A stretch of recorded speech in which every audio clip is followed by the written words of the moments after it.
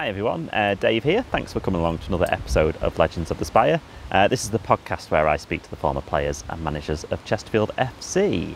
And this is episode number 60. So, what better way to celebrate uh, than with a, both a player and manager uh, of Chesterfield as I spoke to Danny Wilson. Now, any slightly older Chesterfield fans may remember Danny Moore as a player from when he was with us uh, in the early 1980s in a stellar team alongside the likes of Alan Birch and Geoff Salmons, and also previous podcast guests like Phil Bonnyman, Phil Walker, and Sean O'Neill. He won the Anglo Scottish Cup with us uh, and then came back to Chesterfield as a manager um, between 2015 and 2017, uh, which was when we were on a bit of a downward spiral after Paul Cook had left and Dean Saunders had had a short stint and he came in and saved us from relegation.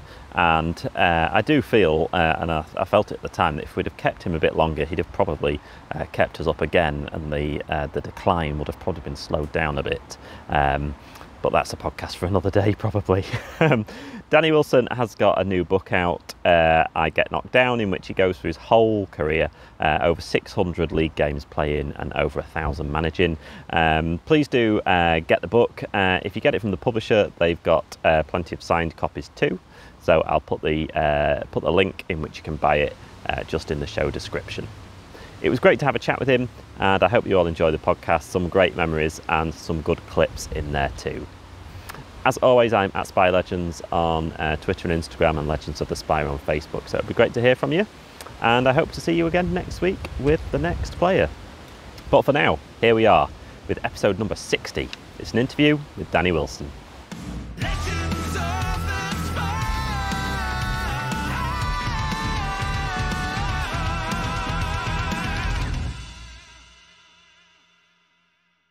When do you first remember kicking a football?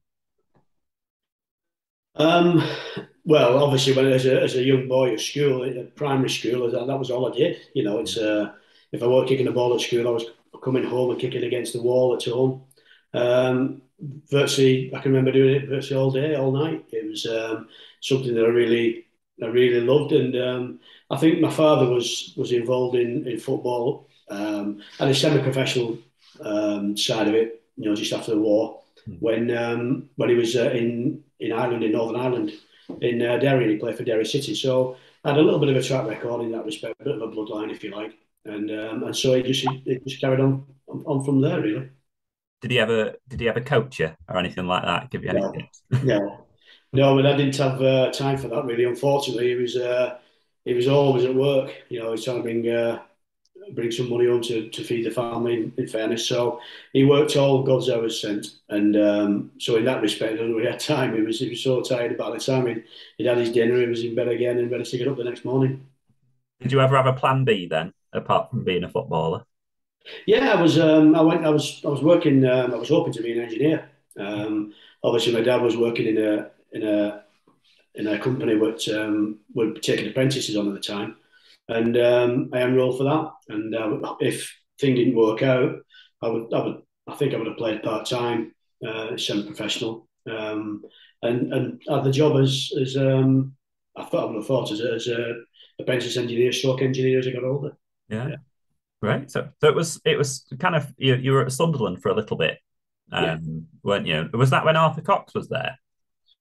Um, no, no, it was um, when Bob Stoker was the manager at the time there.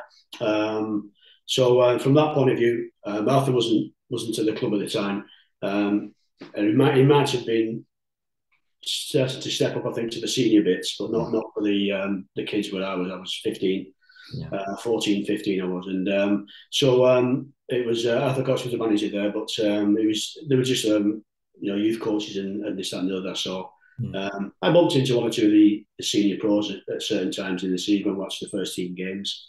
But um, obviously, I was never around that area. Yeah. Who who did you kind of model yourself on then? Who were you kind of looking at in the game that you wanted to be the next? there was only one for me, and that was Ian Callaghan, who uh, who played for Liverpool. He was, uh, I think, it was because of the size. Really, I think both a similar size to um, to myself. Um, but he was um, he was an all round player as well. He was he was tenacious, but he wasn't dirty. He, he could get on the ball. He could score a goal.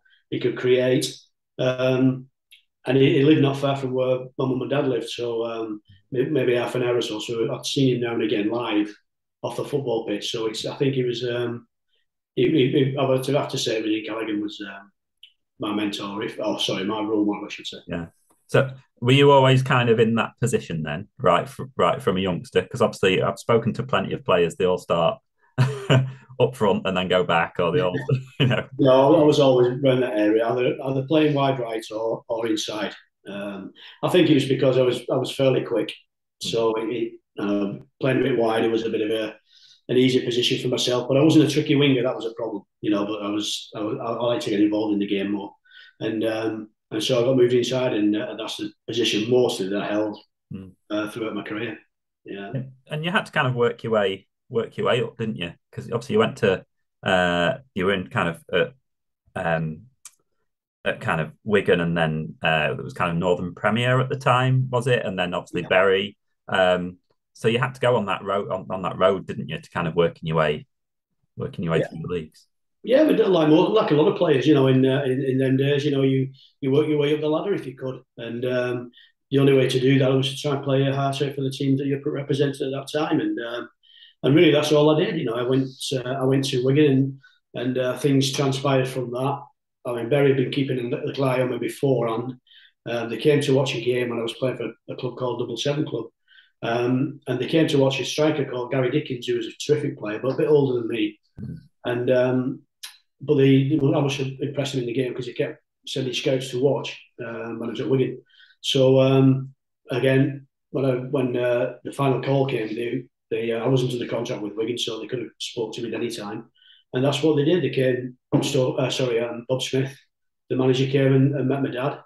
Um, and myself and asked if I could sign for, for Bury, and that was it really. But um, but like like I said, like most players, we did have the same sort of uh, pathway. Um, and then from Bury, obviously, you know, you've got to you've got to get into the first year first and foremost. That's the hardest part.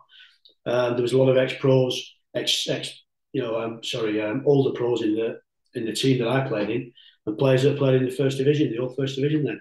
So um, to get in the team, there was going to be my first uh, challenge, in, in, fairness. And um, fortunately, I got in there fa- fairly quickly, and, uh, and, I, and I stayed in there for a while. And then the progression comes again, as you know, the, the rest of the, the clubs I went to, and um, yeah. which is a very similar pattern, really. Yeah. Uh, what was it like getting used to uh, kind of playing in that first team level? Then a bit blood and thunder, I I imagine.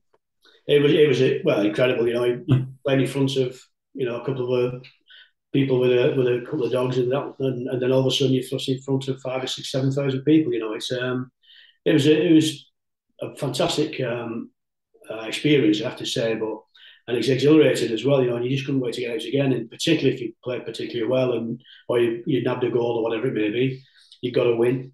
Um, it was brilliant. You just couldn't wait for the next one. That was what it was. It was it was very exciting from my point of view. Mm-hmm. Um, really a bit of a novelty, I suppose, and you know, I can remember you know, one or two of the players who were senior lads who were, you know, relying on a win to, to help them with pay the mortgage, you know, and that's that's how it was in those days. And so, from my point of view, where where I thought it was a bit of fun for other people, it was a it was a livelihood that, that, that was on the line, and um, and under no uncertain terms, they would let me know at times, you know, that uh, you know, hey, you know, this is it's all right for you, but we've got kids to raise here, mm-hmm. and um, and so that gave you again that bit of extra incentive, and it was from my point of view, it was, it was brilliant that you know, I could see what it meant to to the older players, and uh, and I had to come to the to the plate with them, you know, and um, so that again, it was another little learning curve for me, you know, that you didn't take anything for granted and, and understood what other what other priorities were for other players. Yeah. Did, did those older pros kind of look after you on the pitch? I, I remember a great story from uh, I think it was when I was talking to Phil Walker. He was saying that a player came up to him once and said, "You see that stand? You're going in it." And kind of Ernie Moss came over and said, you know, don't talk to him like that, and kind of kind of looked after him on the pitch. Do you ever? Uh, yeah, listen, there, there, was there was all that intimidation, you know, in our days all the time. You know, it's um, you know, you've uh, you you'd be in front of one or two tackles that come flying in at you if you got a bit cocky and you you're going past people or you'd scored a couple of goals, whatever you got sorted out. And and that's when the senior pros would come and stand by you, and you know they they point the finger and say, well, you know, it's you do it to him, you're going to get that very shortly, sunshine. And and true, to to to the words, he would do it, you know. And uh, mm-hmm. the referees could see it, the referee could understand. Then turned a little bit of a blind eye, I suppose. Mm-hmm. Um, they were just meeting a bit more out than as, well as delivering it. Mm. Team spirit. That's team spirit for you. yeah, very much so. Yeah. And um, and you kind of I, I read that it was a, a game that Chesterfield played against Bury in in 1980 that kind of it was a few months later that then you signed for Chesterfield. Yeah. Um, and kind of on the Chesterfield history website, you know, it said that you were one of the standout players on that day. So, um, how did it all kind of come about that move to Chesterfield? Well, um, if, I, if I'm quite honest, I don't know. Um, you know, I, in those days, you only knew what the, the, club were going to sell you. You know, you didn't you didn't have agents who were phoning clubs around for you and, and touting you about, and newspapers that people picking up and this and the other, and social media. You didn't, you know, that wasn't it was around. It was it was down to people who were out watching watching players and scouting players, and a team of of people like that. Um, and then the next minute, I know I was pulled into the office um, at Bury, and and I was I was told that you know Chester will come in for you, we've accepted a bid for you, and, and you're going over there to talk to them, which is exactly what happened. And uh, so it came very much out of the blue, and uh, you know from that point of view, I, I really I played at Chesterfield. I didn't know anything about it, if I'm honest. I was only just finding my feet at Bury, really, because um, I'd never heard of Bury before I went to him as well. You know, I was a little Wigan lad and you know very young and and not travelled at all. So uh, so going to Chesterfield now was another another challenge again, another another um, opportunity to to broaden my horizons, if you like. And then I went over and I met uh, Arthur Cox. Um, very much impressed me as, as Arthur would impress anybody. Um, real football man, very committed to to the to the cause um, and very disciplined, and, and I quite liked all those those traits about him. Um, and again, obviously, you look at the team as well, and you know, I've gone back and I've seen who was playing for them, and and obviously I played against them as well. And I thought, well, you know, it's a good opportunity again to another step forward, and, and that's what it was. It was, it was a stepping stone, really, I suppose, to uh, to the next level. Mm. I suppose people don't really appreciate uh, nowadays that the the power that players have nowadays it wasn't uh, wasn't always that way, was it? I suppose. No, far from it. Quite the opposite, really. The clubs had the, the upper hand on everything. You know, they dictated everything. You know, to um, you know, you know, for a footballer to go in and, and, and slam a transfer request, it had to be really, really serious for him to do that. Um, yes, it did happen. Of course, it did. But it, you know, it's few and far between. Nothing like nowadays where I don't suppose really even the players are doing nowadays. It's the agent do it on their behalf, you know, and uh, you know the face to face meetings that he used to have with managers and and, um, chairman. Um, it doesn't happen as much nowadays. Um, but um, but I feel that you know it's uh, from from where I was, I was just running the mill thing. That's what happened. That's what you got on with. Yeah, and I've I've heard about Arthur Cox's pre seasons. I've I've heard about these runs out, sending you up to Curbar and then uh, I've heard about him kind of leaving leaving people behind that didn't get back to the cars in time and things like that. I think, oh yeah, like Steve Ogrizovic and people like that have spoken about having to go on these big runs. Did you quite enjoy them? Um, well, I was fit. Yeah, I was okay. You know, I weren't too bad on it, but um, they were they were they were very very difficult. You know, to towards Curbar, used to run a pig farm up in in uh, Chesterfield as well. You know, he'd run through all the pig muck and everything, and and uh, but you had no tops on in terms of you know a t-shirt and a pair of shorts, and that was it. No matter what the weather was, you know, it could be it could be minus ten. It didn't matter, but Arthur wouldn't let you have tops on and tracksuit bottoms in particular. You know, so um, the only way to keep warm was run fast, and uh, that's what we did. But I remember um, Sammy. I mean, you might you might have heard the story about Geoff Salmons, who was a, a fantastic character and, and, still is. He's what a what a great fellow, a good friend he is. But um, Sammy used to have his pubs as well as playing football. So um, you know he had to get away from training fairly quickly to change the beer or change the barrels or whatever he did, and you know to get the pub ready for people coming in. And um, so he didn't really particularly like all the the long running because he was a sprinter really more than anything. Sam, and he was coming to towards the end of his career. Anyway, um, this particular day we set off and couldn't find him anywhere. Like, and he, he, ended up getting the bus back. He put some money down his sock and got the bus. He jumped on the bus, went back to the ground, and didn't bother running. Like so, you know, the, the, the things you get away with in that respect. And uh, I think Coxie didn't like it at times. You know, he, he, had to he had to make a stance, but at the same time, I'm sure he was laughing under his under his breath a bit. But uh, that was the character that Sammy was. I think it was maybe Phil Walker that that uh, said a, a, story about him as well when he was uh, it, would had pie and chips or something like that on the way back, and then there was a weigh in or something like that, and he was a few pounds over, and it cost him quite a bit, I think, that pie and chips. Yeah, he did. I mean, somebody didn't, he didn't mind at all. I mean, he was, I mean, he was well in his thirties then, as I said, and you know, he, I think he was just doing the football for the enjoyment of it more than anything. He was never doing it for the money. I'm sure he wasn't. And um, but I think um, from that point of view, he, didn't, really, really didn't matter to him. He just wanted to, you know, keep that feeling going and going out in front of the fans. And um, and when he did, he, did, he could turn it on because he was a hell of a player. And um, so I just think in that respect, he, I think the management knew about it, knew really what what his motivation was. And then I think they turned a little bit of a blind eye at that. You know, yeah, they did find a couple of quid here and there, but it, it didn't really make much much of a difference to Sammy. I don't think. It was probably quite helpful for Arthur Cox as well, wasn't it, to have uh, that experience? Because obviously he was just kind of starting the coaching career, wasn't he? To have, to have yeah. a bit of uh, experience of how to treat some yeah. different players was probably very much so. Yeah, I mean, I mean, from a manager's point of view, it's a dream. You know, all you're all you're looking for. Yes, you want you want them to set the examples in training, but more importantly, it's on the pitch on Saturdays, and that's when you want the players to perform. And um, and Sammy did that on a regular basis. You know, so and and his experience, and we looked up to him. You know, so that was it's great from a manager's point of view to see that type of uh, of respect for your your fellow teammates. And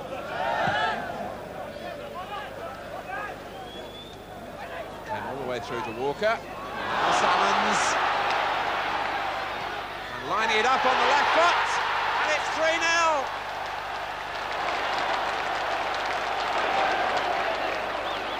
Walker again involved to set Salmons on his way. Rotherham backed off. Salmons didn't hesitate, brushed the fingertips of Ogden into the back of the net. And, and like you say, some of the talent in that team, I mean, the fans still talk about it now. People like, you know, Alan Birch and Geoff Salmons and yourself and, you know, your Phil Bonnymans and people like that. It was a an exciting exciting team, wasn't it, in many ways around then? Yeah, we had some, we had some very good players, as you, as you rightly say. And, um, and, and I think, you know, Arthur and the board of directors at the time, you know, they, they spent quite a few quid on it. They, they, they really had a good push for a club of a Chesterfield size and the, and the crowd they were getting, that you know, to, to splash out like they did um, was a was a big statement. Yeah, I was so sorry that at the end of it, when it, it tended to break up because of you know reasons, uh, financial more than anything, I don't think that the team had to split up because it was a good sign, and uh, we were very unlucky in, in a couple of occasions where we could have and should have maybe made the made the uh, promotion places, um, but it didn't happen, and um, unfortunately, like I said, we one or two of the players were were not forced to leave, but you know they were in a position where they really couldn't stay because the clubs were offering money for them, and the club needed that money. Yeah, well, like you say, that that first season you were here, I think we finished fifth, but uh, obviously that was when Anglo Scottish Cup happened as well, which maybe uh, maybe added a few games onto the season that didn't necessarily help with the promotion push. But uh, it was a, a you played in every game, didn't you, of the Anglo Scottish Cup, apart from the the second leg of the final, didn't you? Yeah, I did. I um I was injured. I got um I had a, a thigh uh, problem where I, I dislocated a, a, muscle from or separated muscle from the uh, my thigh. So uh, the tackle it was, and uh, and I missed the the, the game, one of the biggest games. But thankfully the lads came through it. Um, yeah, it was um, it was, a great experience. Was there at that time? There was there was some you know really really good teams in the competition, as you as you well know and uh, and we overcame we overcame them all, which was a, a real real statement from you know the, the club itself with, with what they put on the pitch, and um, and it did gel. It did gel for long periods of, of time. But really, ultimately, the goal was to get promotion. That was the main aim. And, and unfortunately, it didn't happen. But uh, you know, it, I don't think it was through lack of trying. But you know, we missed players at certain parts of the, of the season where we were, we were integral part of the team, and um, it does it does take its toll sometimes when your best players are missing. Yeah. How's it uh, in those Rangers games? Because it was uh, were an interesting couple of games, weren't they? There's still the footage of the planes going to going to Scotland, you know, and, and yeah. all the, the, the kind of the all the Rangers fans coming down to Chesterfield at that time. Yeah, it, it was brilliant. I mean, it, listen to play against a quality side like that in a stadium at Ibrox like we did. I come away with the result as well. You know, the first leg we were, we were a little bit fortunate, really. I mean, I can I can see Phil Walker's goal going in now from a corner, uh, go straight in. And um, you know, from that point of view, I think we're, we maybe a bit fortunate to hang on to that. You know, the one-one up there. But when we brought them back down to to Saltergate, that was that was a, a, monster game. Um, again, like you said, the following that Rangers had, you know, and still have, um, was immense. And um, I think maybe looking back in hindsight now, the the, the publicans who are in and around Chesterfield who closed the pubs might, might have been regretting it the next day because apparently they went onto the outskirts and, and you know drank merrily and spent a lot of money and not not one problem. Um, and then obviously when they came to the game, we didn't see any problems at all within the ground, other than you know the uh, the sad faces when they walked home because we we, we played very well on the day and, and had a great result, as you know. Phil Bonnyman told me all about him getting turned away from pubs around Chesterfield that night because they thought he was a Rangers fan. yeah, yeah, that's exactly right. Yeah, you couldn't get anywhere, anywhere else. That's, that's amazing, really. And, and like I said, the amount of next day they look at the takings of the pubs in the surrounding areas, the amount of which they stayed open. and obviously, Chesterfield still still holders of that because that was the last time they did it. So still still holders of a a European title, I suppose. yeah, yeah, it's amazing, isn't it? Yeah, I wonder where the cup. I've not seen the cup actually, but yeah, it will be somewhere, like, or it's somebody's house. I don't know. yeah, it'll be around somewhere, I'm sure. I've got, I've got actually, I've, I've got a picture that was signed ages ago, which, which you're kind of on it, I think, in the in the bottom corner. Uh, yes, yes, so, yeah, yeah, yeah, brilliant. And obviously, like Frank Barlow took over, didn't he? Because Jeff, because uh, Arthur Cox moved on. So, yeah. what what was it? What was it like? The change of him, his kind of style from my point of view, is is a very very close friend and and and certainly a you know brilliant brilliant guy. Um, nobody in in my lifetime that I know in football has ever said a bad word against him. He's he's absolutely brilliant, and um, both on and off the pitch. So when Frank took over, it it, it was totally opposite from uh, from Arthur, where Arthur was a, a, a very very strict disciplinarian. Um, don't get me wrong, Frank Frank's a tough nut. Don't, don't you know behind this, you know this um, uh, this lovely guy's you know uh, face or if you have or, attitude. He was a tough fellow, a tough player as well. You know, but so you know you knew where you stood with him, but he didn't have to. He didn't have to do the things that Arthur did.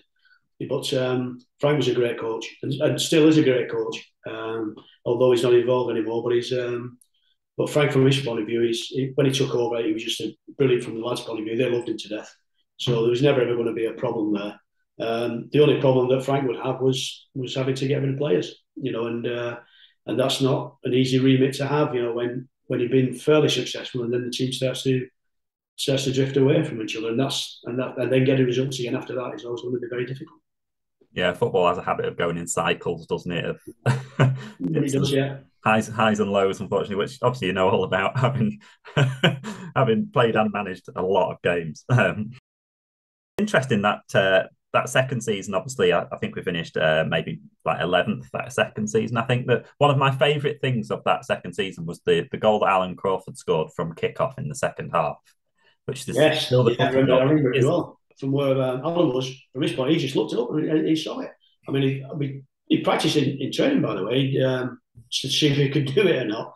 But um, I mean, in those days, there was you know, there was there's lots of things that was that was played off the cuff really, and, and the experience of the player that was that was uh, going to execute it. Um, it was up to them whether they fancied it or not, and, and he did, you know, and, and, and lo and behold, that's what happened, right? Yeah, the, the footage of that goal is still I'll still watch it every now and then just because it's, it's absolutely brilliant. There's there's sometimes too much of the the long ball to the uh, to try and get the get the flick on possession of the pitch from a half, and they need to try that more often. Oh yes, absolutely. uh, Haaland or someone like that could probably do it easy peasy if he tried. yeah, he could do it. He could do it in the back heel at the moment. That boy. So everything to play for as we start the second half here at Saltergate. An immediate sprint for Crawford down the middle. Well, this will be a sensational start to the second half if he can score. And Crawford has done. That is unbelievable. It's no more than six seconds into the second half. It's got to be one of the quickest goals to start a second half of all time.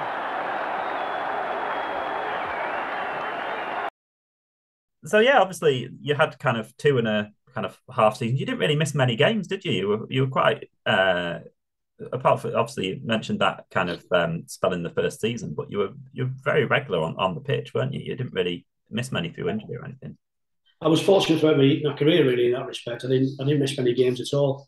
Um, one of the biggest or the longest periods, sorry, that I had missed was, um, I think, when I uh, had a hamstring problem when I was at, at Brighton, um, and I had to go to Holland to have it sorted. But um, and that and that fortunately went um, towards the end of the season, so I could recuperate for the pre-season as well. You know, I got back in, in time to play games for the for Brighton, but um, then the end of the season came, so it was, it was great. So and that was the longest period I had. I think it was about six weeks, I think, something like that, throughout my career, which was very fortunate. Yeah. Mm-hmm. Yeah, because I've spoken to a lot of players that have had to retire early or you know just falling out of the game for whatever reason. Sometimes just luck, isn't it? And so yeah. to, to have to, to be able to play what over over six hundred league games, something like that, well over six hundred league games yeah. must be nice to have been able to go through your career, obviously, without having that time when a bad injury could just knock you out of the game. Yeah, and, and, and really, if, if I'm if I'm being honest and blow my own trumpet a little bit, I think I could have played longer as well because at 34 when I retired, I was arguably the fittest I've, I've been for a long time in, in terms of, of my, my understanding of the game, what was needed in my position as well. Um, I felt I could have got another two or three years in playing wise, but I think it was just the, the reason I finished was because of the workload of player management, mm. and um, and that was the only reason. And, and, so so really, I could have I could have added to that quite easily. Um, and I was you know the level I was playing at as well. I found it never easy, but it but a lot less demanding. But I had more of a, an intelligence in in terms of of of, uh, of my football and what I and what I was, uh, you know, allowing myself to be able to do and understanding it better. So um, yeah, I could have had, had, some more, but I'm not complaining by the way. You know, it's, it was great, but yeah, I, I, did feel even at that age I was still very fit. Yeah, mm. and and like before we move on from your time playing with Chesterfield, uh, just a word for the great Ernie Moss, who uh, who's sadly no longer with us. Uh, it must have been must have been great having someone like that to uh, to send the balls to to score goals. Well, Ernie was that. Everybody knew knew Ernie and, and were friendly with him, whether it be on the pitch or off it. They'll say exactly the same thing. He was a gentle giant, absolutely brilliant guy. Um, such a lovely fellow to be around. Great company. But on the pitch, he was, you know, he's Colossus as well. You know, he's he was he was somebody who would get hold of the ball. You know, he never never blessed with with electric pace, as people know, but he would help other players enormously, and, and he was that that um, how can I say that that point in in, uh, in your team where you could rely on. He, the ball would stick with him all the time, and he, and he battle his you know his his his heart out with you to retain that possession, and then just give it off to you. And that and that helped so many players in, in like the likes of myself and and um, Alan Birch and Bonnyman, etc. You know, he was um, he was pivotal in how he wanted to play. You know, if he wanted to get on the ball and get up the pitch and, and get opportunities, you get the ball to Ernie, and he and he, and he keep it up there for you. So um, yeah, to lose him was so sad, and, and his family as well, lovely, lovely family. Really, really miss him. I'm sure that you know that everybody who's ever come in contact with him will, will say the same. Um, but yeah, he was he was a legend at Chesterfield, and, and, and will ever always always remain that way. Mm, absolutely well said. Moving on from Chesterfield, obviously your last home game, your last home appearance for us. I think you scored twice in a five-one win against Wrexham, I think, and then and then you were um, you were gone soon after. I think there was a bit of a, a player swap. Was it Steve Kendall and Calvin Plummer kind of yeah. completed moves, and, and you kind of went to Forest. So, like you mentioned, was that that was just a, a, a balance in the books kind of thing, was it at the at the time? Well, it was, and uh, you know, Frank is, as I said, you know, he can tell the story far better than I can. But I knew, I know that, um, you know, over years of working with Frankie since leaving Chesterfield, you know, he always told me all the time what happened. It's that the club they needed um, ninety grand yesterday, and um, and so I think Forest have found out about it. A few clubs have, have, been sniffing around a bit. Derby in particular was sniffing around a bit, um, and, and, they had the money as well. But I think that you know, um, thankfully, Forest and Brian Clough, I don't think they want to get into a bidding war, so we got me down straight away. And Frank accompanied me down to to the ground, and they said, Brian Clough said to me, you know what, you know how much money? He said, I need it, I need it yesterday. I need ninety grand. They said, oh, we'll give you 60. He said, I need 90. Anyway, so, I mean, they came and he said, well, what happens to the 90 grand? They said, it goes straight to the bank. You know, we, we that's what happens. We, we don't get any money. He said, will you not be able to use any of it? And, and he said, no. He said, well, I'll do you a favour and I'll give you two players. They'll help your team and, and um, with a bit of luck, you know, you can you can put them in the team and they'll, and they'll do some good. And that's when Calvin and, and um, Steve came on the reverse uh, transfer.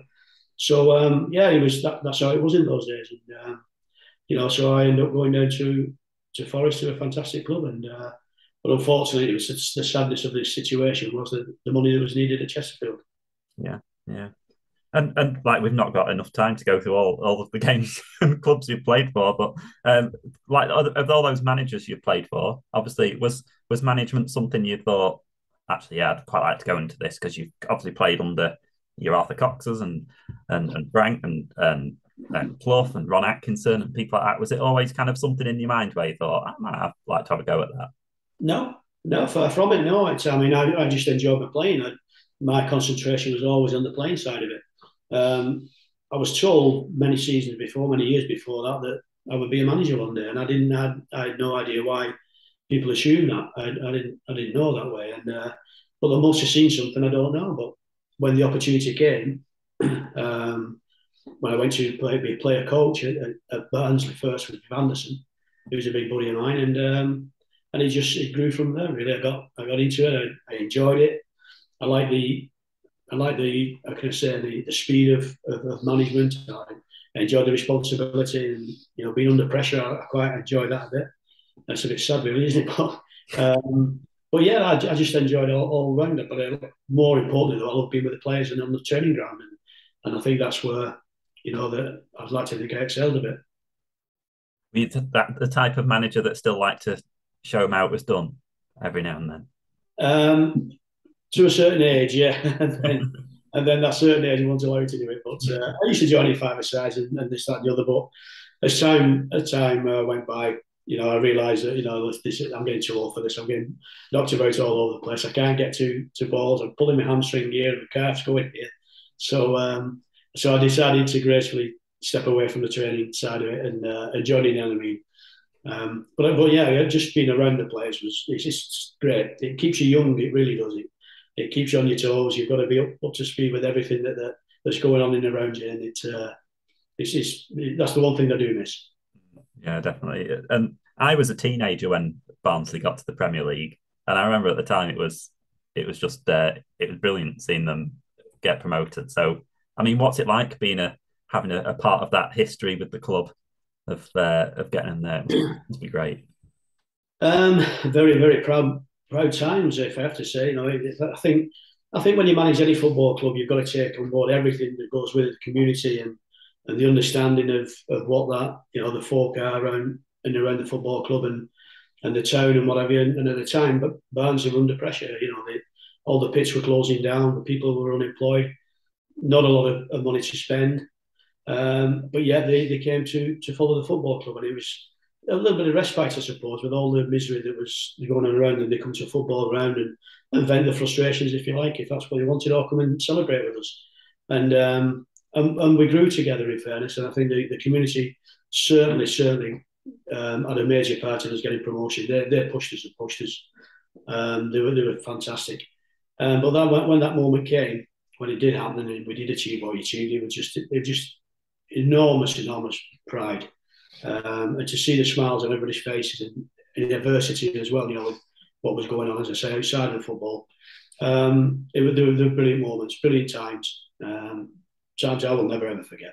Yeah. Do, do, you keep any of the kind of memorabilia or things like that? Any of the the medals, and do you have them all on display or anything like that, or is it just something you keep in a drawer and have a look at now? I keep I keep them I keep them in a drawer most of them. Yeah, I've got the odd photo now again, but um, yeah, generally I just uh, the, yes, I've got them. I've got to keep I keep most things. Um, I'm sure when uh, when I'm not here, they'll be thrown out in the bin and go, "What's all this rubbish like?" You know. But, uh, um, but the morning time, yeah, they're they're in uh, in a place where I know where they are. But if you know, if I just want to have a look at it now again, I just I'll open the and have. Yeah. And and you managed what over a thousand games, something like that, was it? It's a lot. Yeah, about about eleven hundred games, I think, something like that. Yeah, yeah, yeah. It's um, actually I actually managed more games than I played. So uh, you know, I thought I, I, thought my career of playing was was quite all right and long, but but then getting into management and doing it for 25 years or so, then um, it, it, puts in perspective a bit. Yeah. Yeah, and and you did come back to Chesterfield uh, and manage us for a bit. It was a it was fair to say it was a bit of a turbulent time after Paul mm-hmm. Cook had left, and then Dean Saunders came in. It didn't work out. Um, so you kind of came in and saved us from relegation, didn't you, that season? What was it like coming in and trying to uh, kind of take over that that ship? Um, it was very difficult, uh, very difficult times, as you as you well know, well documented that you know Paul Cook did absolutely brilliant when when he was there, and the signings that he made were great.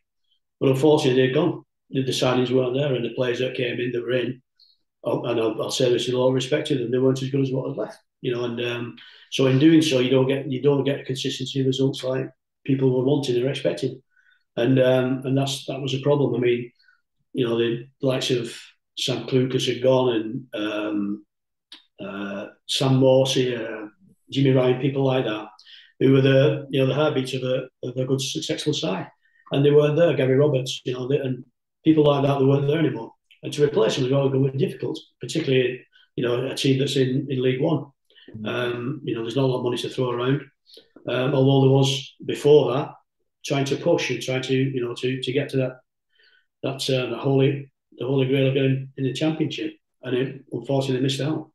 And um, excuse me, but I think that um, to go in there and take the, the, helm, first and foremost, it was just to stay up, you know. And uh, Dean had come in, Dean had had a bit of a, a difficult time, and uh, and I got on really well with Dean. I played with Dean at Brighton, so I knew him very well, and uh, and had a difficult time. And um, the change, and I got a phone call to see if I go and talk to them, um, which I did from Chris Turner, and obviously again I've worked with Chris before at Hartlepool in the management position, but also I played with him at Sheffield Wednesday as well. So, um, so I knew Chris very well, and he just said, "Will you come down and give us a hand?"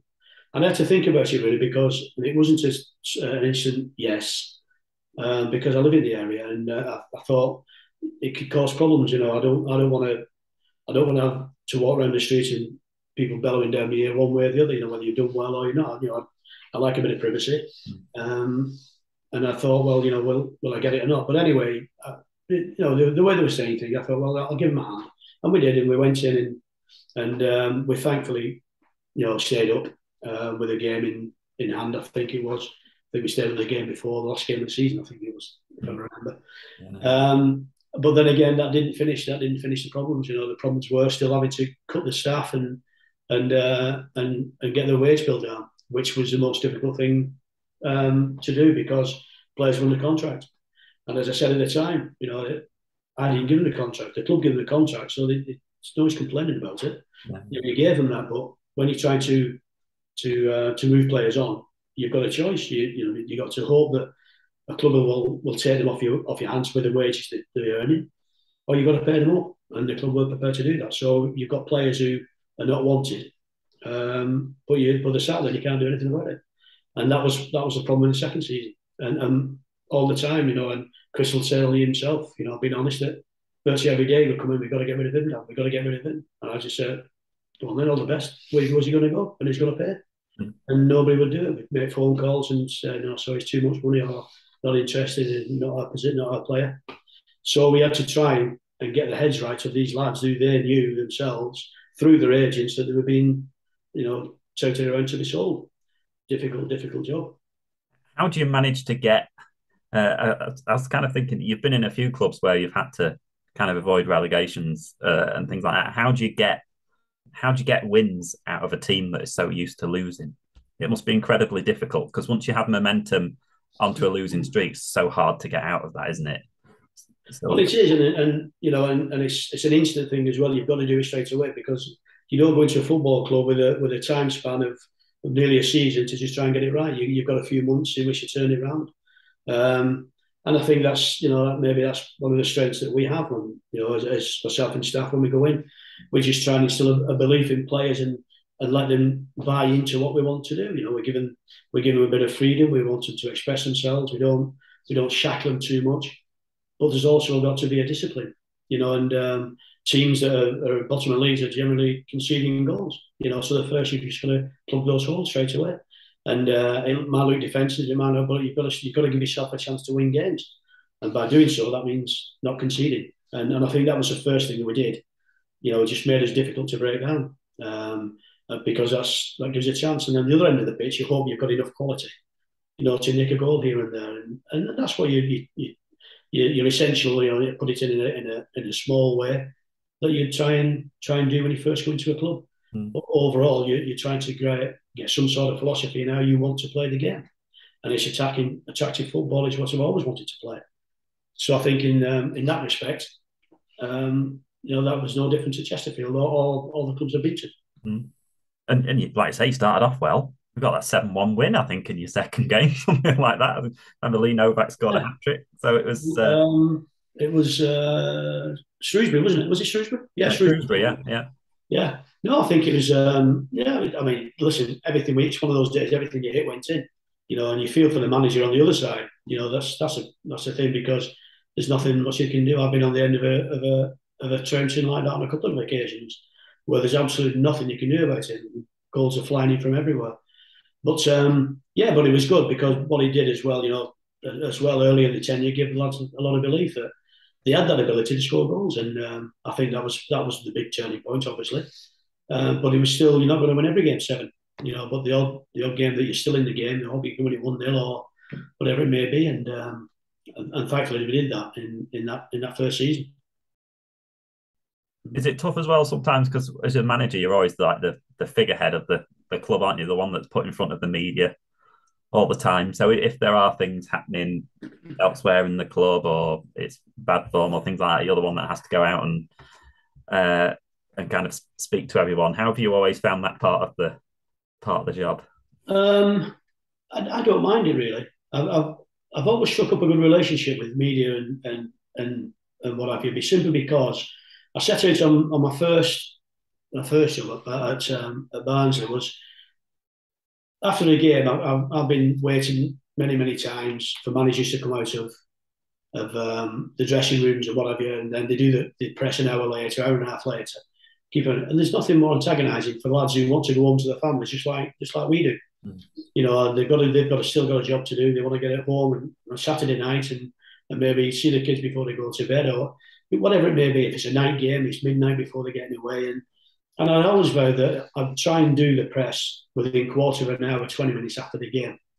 Once I've had a little bit of a debrief with the with the players, I go and do it straight away before I even go to the boardroom or anything like that. I would do that, and uh, and so I think that bit of mutual respect worked well for us as we went along, and uh, I think I hope that the press understood that why I was doing it, um, not to get nice reviews and not to do this and the other, but you know just to let them understand it's a tough one from my point of view as well Mm-hmm. So some of the questions that you get, you know, are very, very demanding, you know, and not always you can answer them.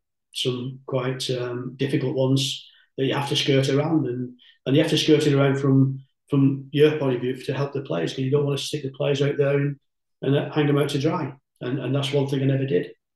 Um, but some of the questions you get, you can quite easily do that. Mm. So you've got to be on your guard. You've got to be understanding of a lot of the literacy of, of English uh, language and you've got to understand what people mean when they ask you certain questions. And, um, and thankfully, I was I was quite okay with that type of thing. Think quick and bite your tongue sometimes, maybe to do things like that. So many times, by the way. I can imagine there's times that you wanted to come out and say something, and you're like, "No, not, yeah. not a good idea right now." Well, it's exactly right. You do. You, you, you just can't say certain things that you would like to say, and you'd like to tell the fans, but it, it's just it's just things you just cannot do, unfortunately. Um, in an ideal world, you possibly could, but football's not an ideal world. Yeah, so, obviously you had a, a, the little spell at, at, Chesterfield, didn't you? It didn't quite work out, but it, I think looking back now, the fans look back and, and say, "Oh, actually, if we'd have kept you for, if you'd have been there for longer, you'd we might not have ended in the situation we ended up in because it was just a one of those uh, just got into a rhythm of losing and and just kept kept losing, unfortunately. But yeah, um, so it must be odd for you seeing seeing Chesterfield now in a now in the National League, it's it's mm. quite quite a strong league now. Some quite good teams in it, but well, that's um, the problem. Yeah. It's, it's, sad to see them where they are. It was sad to see them relegated, and uh, and I said at the time um, because of all the things that we're having to do, people had to understand there's going to be a bit some lot of bumps in the road, and and to stay up again, you know, would have been the challenge. Not not to go on and, and try and get to top six or things like that. Mid just stay up, and then to try and build on it. And I felt at that time, the, my sacking was stupid um, because I've, I've, been through all that. The players have been through this situation before, knew knew how to get out of it. This that wasn't a situation for young kids. It was a situation where, where senior players could could help enormously. Yes, they'll one or two might be in the team, uh, young ones, but more than anything, we've been in that situation before. We had the experience, and I certainly had. Um, so I felt I, I, didn't see I didn't see the sense in it really. Um, but at the same time, I saw it coming anyway. You know, so it's um, it wasn't a surprise to me. It wasn't a surprise, I'm sure, to one or two other people. Um, but what was a surprise was afterwards were the mental players that started coming into the club, um, where we weren't allowed to bring many in at all. You know, and certainly we were we were scrounging for free transfers or uh, for players to come in on loan. We give them a couple hundred quid a week, and the clubs are saying, well, if he comes in for that, you've got to play him, and he comes in, maybe not good enough to play. So it was a it was a real real um, dilemma at times, and very very difficult to manage. And then when obviously when I left, then you see players coming in, you know, on a regular basis. I'm thinking, well, why why why now and you know, why not before? You know, we could have we could have addressed this quite easily still been in League One, and we would have been still in League One. I, I can I would I would guarantee I believe that wholeheartedly we'd still been in League One, um, and I've been there. Um, and I don't say that as a big. I, I generally believe that we've still been there because we'd have managed it. Um, but then again, it, it, just from then onwards, it just went, you know, completely off the scale. And who would have, who would have thought they'd been in the National League? So I certainly didn't know. Mm. So finally, just have a uh, just tell me about the book. How how did that all come about? How long has it taken to kind of put things together for it? Um, well, I, I, I've been I've been asked on numerous occasions whether I'd be interested in doing it. I've always said no because I'm not that type of person. I'm, as I said, I'm, I'm a fairly uh, quiet lad, and I'm, I, I, like my privacy in, in terms of, of, that. So uh, you know, I'm not quite a, an open book, so to speak. Um, but I, I, got I got invited um, for a chat with uh, Matthew Mann, my ghostwriter, and, and Barrie Pierpoint, who used to be chief executive at um, Leicester City. So, um, so in that respect, uh, I just said, yeah, I'll come and talk to you. And, and they put it over in a way that I, I thought, well, you know, I've, I've, listened to this. I'll go on first, and I'll, uh, I'll talk to Karen, uh, my wife, uh, and the kids, and just see what they think, um, because it was it's, it's, going to involve a lot of you know um, family um, stories. Um, although it's mainly about my, my, career in football, there is obviously one or two things that, that are put in there. Mm-hmm. So um, uh, they just said, you know, it's something to leave behind for you, for the family. And we just had um, a young grandson, my son Laurie, had just had his first grandchild, uh, first child, and uh, first grandchild, and then a second one came along about six months ago. So we just felt, you know, for Carrie and, and Laurie, uh, my son and daughter, um, it's good from from their point of view to maybe hand it down. And all they see was a, maybe the granddad and and whatever in a football shorts and, and not understand really what, what went on. And so it was a real. I just wanted to leave him something, just something that he could share later on, and uh, and that's what it's about. You know, it's uh, it's it's something you know that I've had to put in one or two things that put the the, the um, points right in, in and the stories right and get people to understand the truth of certain situations.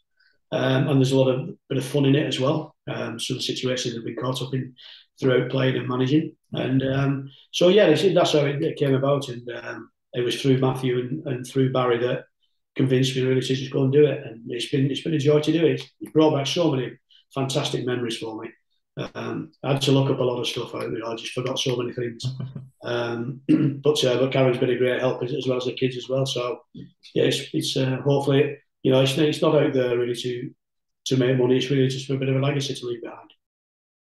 Will you be tempted back? Do you think at any point, or uh, to kind of get involved, or do you think that's uh, you've you've done your time, you've had enough experiences, I suppose? well, I have. I think, and I think in uh, in terms of um, uh, of management, I would I would very much doubt to be back in in that role. Um, I think the the way that the the trend is going at the moment in time is for young managers now coming out of academies, things like that. You know, I don't think there's a room for a lot of experienced uh, people. There's loads of experienced managers out of work and, and don't like to come back in. I think it's it's changing the trend. Um, but I still think you know the the game's missing out on on the experience that's out there um, that's that's missing out. And I think young young managers coming in could do with you know a bit of help and and understanding how you manage upwards. You know because that's one of the toughest parts. Handling media, things like that. You know even even problems within the dressing room. Um, and sometimes it's good to to be able to lean back to somebody who's had that that problem, um, you know, and and help them through it. And I think that there's loads of managers out there who could who could fit that bill quite easily. Um, so I think if if anything did happen, it would be in that area. Um, but I don't really see that happening as well. You know, there's a lot of fear maybe out there that, that you're after the jobs, which you, which you're certainly not. You know, you've been through all that stuff and you don't want to go in again. so um, so you never say never, but um, I would very much doubt it. Great. Well, well, thanks so much for uh, for coming out having a chat. I really appreciate it. I will uh, I will will plug the book around all of the uh, all of the Chesterfield fans. Uh, I'm sure they're, they're all picking up on it anyway. I'm sure. And then, uh, uh, yeah, I'll. Uh, I'm really looking forward to reading it myself. It'll be, uh, be very good.